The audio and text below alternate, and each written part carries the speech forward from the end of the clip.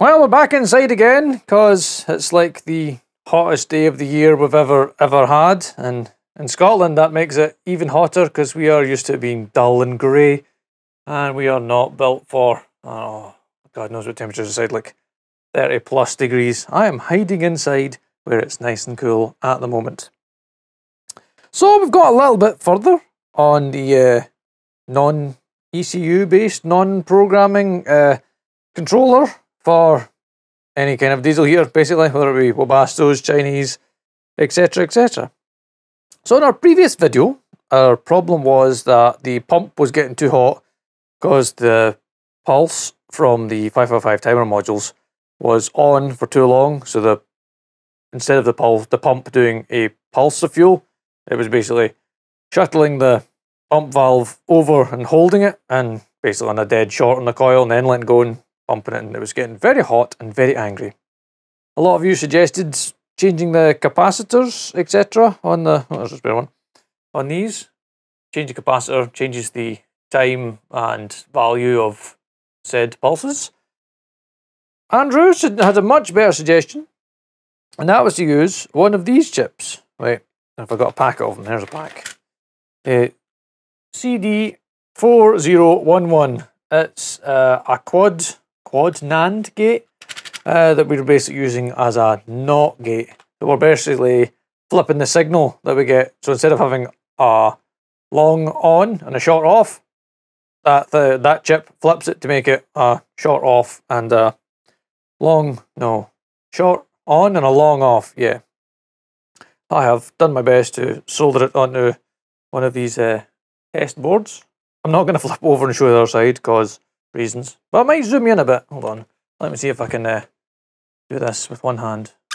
There is a board and the chip and some resistors that drop the voltage down for the board. Some of the connections on the other side. I'm not going to turn it over. The other thing I was surprisingly pleased about is my little uh, MOSFET board here. So I've got my three MOSFETs on heat sinks on the board and a variety of uh, resistors doing the voltage changing and dropping it down to a signal uh, that the MOSFET can use more efficiently and also to pull the MOSFET down to a closed position faster so it doesn't get as hot. So let's zoom out a bit more. Right, the only problem I haven't managed to solve yet is because this chip is flipping the input, when I turn the switch to the on position and I don't want the pump to be on, the pump, the that chip makes the pump an on. It works fine once you set it to pulsing, but at the moment when wait, is it on? Right, so this bulb represents the fuel pump and this little bulb here represents the fan motor. So it's not attached anything at the moment. So let's give the fan a positive feed. I'll put it in here. Obviously it's not turned on right now because it's off off, which there is no power to anything from this switch. So if I put the switch to what would be the cool down position, you'll notice that the pump comes on at full brightness and the cool down uh, that pretend you're a fan motor is spinning. Once you switch over into start, that's when that'll go dimmer and I don't know if you can see the bulb flashing. I don't have a glow plug uh, MOSFET attached. It is a blank space here at the moment. I have not wired it in. Hold on, let me zoom in on the pretending to be a pump bulb. Where is it?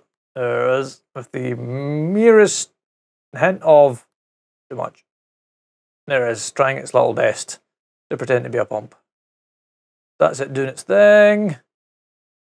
So nothing up on the 555 modules has changed, apart from perhaps their values. They are still the exact same modules.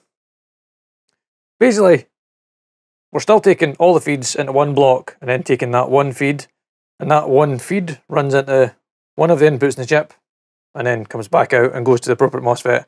So we've got an input for the pump, the fan, and the the no the glow plug. Yes, the glow plug. That's the one I meant. Pump, fan, and glow plug. Except the glow plug's not attached because it's a fairly easy one to tune because we just needed to output a certain voltage once. All the other ones are a bit of fiddling. A purchase I made that you don't have to do this, but it certainly helped me in the learning process was a picoscope. And Andrew's kind of been teaching me how to use it. Now, I was going to run like OBS Studio or something, but I don't think my old laptop's going to take too kindly. I can, using the magic of science, I can tilt my camera over a bit. Can I? Can I? So this is Picoscope. All right, let's start with the output of uh, the pump. Let me just attach one of leads to the output signal, or rather the input signal to the MOSFET of the pump. And turn it on. That's the wrong, that's the wrong signal. That's, that's all we're looking for. So there we go. That is, that is the, that would be start. And I don't think I've tuned this yet. Let's go a bit more divisiony.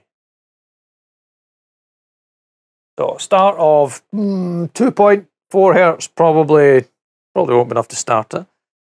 But if I use my twiddly screwdriver now, you'll see that the on pulse is very, very short, which is what we want.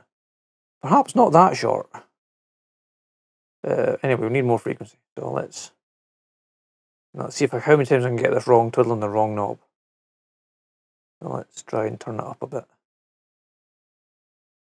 Am I even turning it the right way? Am I turning the right one?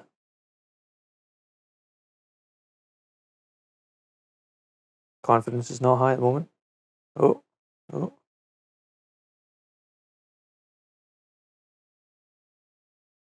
There we go, 2.7, 2.8. There's 3 hertz. Uh, like, let's zoom in a bit on the visions and we'll change the pulse. Unless I've already got it right. So we want like a 10 millisecond pulse. So there's 0, there's 10 over there, so we've got like nearly 15. So we want a shorter pulse for our pump. Uh, wrong way, other way. Am I going the other way? Am I twiddling the right thing? Am I twiddling the right thing? Nope, you're twiddling the wrong one again. I'm going to do that every single time. I'm not going to get this right at any stage. There we go, right. So there's 10 milliseconds. That's a... Again, I'll have to twiddle it again once the pump's attached. But this is the sort of thing you can do by listening to your pump. If you can hear it doing a nice thwack, thwack, thwack, thwack, you're probably in the right ballpark. If you can't hear it doing that, uh, you've probably done it wrong. Let's use the auto setup, which is always great. It's a great feature, this auto setup. It takes a lot of the guesswork out. Oh, look at that. Still at 3 hertz. So now I can turn the frequency back down a bit. Probably to something nearer to... There we go, there's a frequency changing. I mean, I think you, you can go like crazy on this one. You can dial it right up to... Let's go more. Full power. I mean, like 5 hertz probably is full power for these here. There we go. Keep going and make it more hertz. Uh, you don't need the scope because you can see by the twinkly light on the light bulb you're and listen to your frequency. It'll be a bit of trial and error once we get this out in the workshop, but we will be waiting until it's not 40 degrees inside. Let me just take start back down to like 2 hertz that's probably a bit more of a realistic. Doing a bit hertz, and then if you move to the next uh, position, the switch should move us up to uh, what's low. Low is a bit four. That's probably a bit too much. And what's high?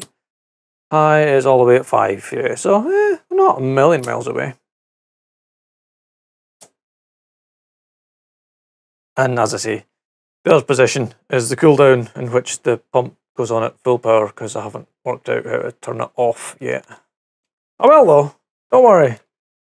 Don't worry. That's just what we've got. So yeah, this is this is us so far. I have we have yeah right. Um, did I say next stage is wait for outside to cool down, take this outside, and then wire into the pump, the glow plug, and the fan more. and we'll see if we can get it get the heat running again and running better this time. Uh, just a bit of a spoiler, but totally still working on this board as well. I've added the power supply for the uh, Adafruit. I just got a couple of uh, thermistors to add, and then that one's pretty much ready to put in as well. And we'll have a play with that at a later date. Anyway, comments, questions, suggestions, etc. Leave them all down below, and I'll do my best to read and answer them. And I think that's about for today. As always, thanks for watching.